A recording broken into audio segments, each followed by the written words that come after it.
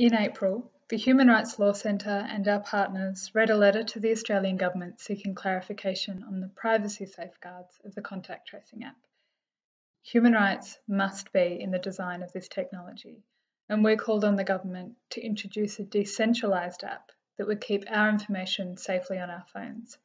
Unfortunately, that call went unheard.